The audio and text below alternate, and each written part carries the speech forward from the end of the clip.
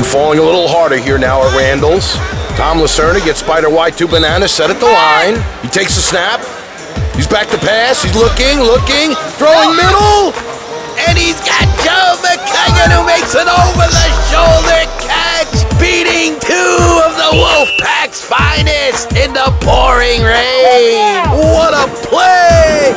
Let's take another look as you can see, as Tom Lacerda drops back the pass for Spider Y2 Banana in the pouring rain, he surveys the field, and he knows he's got Joe McCuggin streaking down the middle of the field, and McCuggin makes an over-the-shoulder catch to beat two Wolfpack. What a play!